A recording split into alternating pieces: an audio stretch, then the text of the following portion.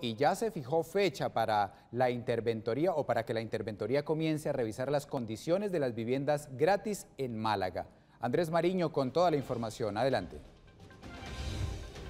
Muchas gracias compañeros, muy buenas tardes. Las viviendas gratis que se construyeron en Málaga serán revisadas por la Interventoría. La personalidad de Málaga señaló que la Interventoría era un informe técnico sobre la habitabilidad de las viviendas. Se tenía como fecha prevista de entrega de las viviendas por parte de la constructora Marval, Consorcio MB Santander concretamente, el 31 de mayo de este año.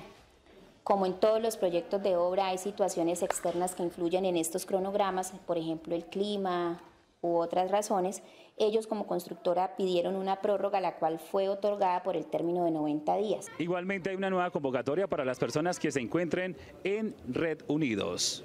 El proceso paralelo que se adelanta para la convocatoria de los potenciales beneficiarios también ha avanzado. Es de conocimiento público que las cajas de compensación han realizado dos visitas al municipio de Málaga en donde han trabajado con un listado inicial que llegó 538 familias, más de 2.000 personas que estaban ahí incluidas como víctimas por desplazamiento forzado. Ellas tenían derecho a postularse. Eh, no se postularon todos. Este programa de viviendas gratis de Balcones de Sevilla beneficia a 300 familias de escasos recursos en nuestro municipio. Esto es la información desde Málaga Santander. Continúen en estudios. Muy buenas tardes.